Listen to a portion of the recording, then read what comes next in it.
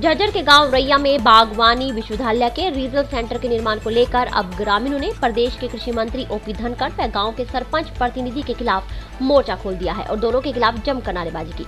वहीं ग्रामीण इस मामले में न्यायपालिका से जाँच की मांग कर रहे हैं, जिसको लेकर ग्रामीण अनिश्चितकालीन धरने पर बैठ गए। धरने पर बैठे ग्रामीणों ने चेतावनी दी कि जब तक मंत्री व सरपंच प्रतिनिधि के खिलाफ न्यायपालिका द्वारा जाँच शुरू नहीं की जाती, तब तक उनका धरना जारी रहेगा। इतना ही नहीं, सर छोटू राम की जयंती पर इस मसले को लेकर भूख हड़ताल किए जाने का फैसला भी लिया जा सकता है।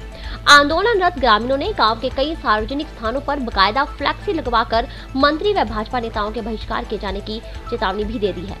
ये जो कृषि मंत्री के और सरपंच ने मिलकर ये जो ज़मीन के घोटाला किया है, उस घोटाला उजागर करने के लिए, ये अनिश्चितकालीन धरना है और ये कोई टाइम टेबल नहीं है। इसका 24 घंटे धरना रहेगा और और ये धरना में भूख हड़ताल भी आगे से योजना बना करके सभी गाँववासी मिलकर के निर्णय लेंगे और सभी संगठनों को और बारह खाप में कृषि मंत्री बारह खाप में और हमारे भैया गाँव में कृषि मंत्री धनखड़ और बीजेपी कोई भी कार्यकर्ता या मंत्री जब तक हम नहीं घुसने देंगे जब तक इस घोटाले की जाँच ना करवाएँ।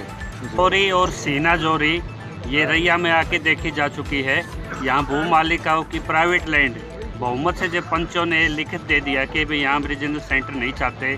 हमें आश्चर्य हुआ, वो दस्तावेज़ ही नहीं है दिखा पा रही सरकार जिसके आधार पर ये लीज डील हुई है। जब यहाँ भू मालिक इसके खिलाफ हैं तो सरपंच ने, कृषि मंत्री ने इसमें करोड़ों रुपए की डील करके, इसी तरह वीरेंद्र सिंह ने जींद में किया है। सामलात भूमि पर सुप्रीम कोर्ट के फैसले की अवलेना करके और यहाँ न्यायालय में लंबित मामलों की उपेक्षा करके जो सीना जोरी की है, हमें ये ये ठगे गए लोग यहाँ पे इन्होंने यहाँ मंत्री बनाया शीर्ष तक पहुँचाया। मंत्री जी ने इनकी छाती पे बंदूक लगा दी और यहाँ ज़मीन छीनने का कार्य जारी है। इनके आह्वान पे आज किसान संगठन यहाँ इकट्ठे हुए हैं और ये तारीफ़ के काबिल हैं कि तानाशाही के खिलाफ भी ये लोकतंत्र और शांतिपूर्वक तरीके से अपनी आवाज़ उठा रहे हैं। जिसमें खुडन बारह के और सत्रह के गाँव इनके श्रृंखलाबंद तरीके से यहाँ अपना समर्थन के लिए पहुँचेंगे और ये आंदोलन दिन प्रतिदिन बढ़ेगा और यहाँ के रोहतक से एक सांसद ने पार्लियामेंट में भी ये मुद्दा उठाया है। ये हर क्षेत्र में जाएगा, लेकिन आज आज गाँव की ज़मीन लूट रहे हो, कल दूसरे गाँव की ज़मीन लूटोगे।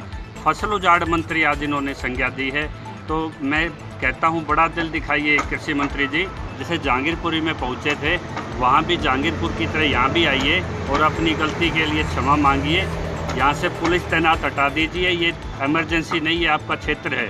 और बड़े बड़े दावे आप करते हैं, कृपया अपने रैया गाँव को भी देखें और कृपया हम इनकी ज़मीन वापस लौटाइए। ये रिपोर्ट, प्रथम तहलका।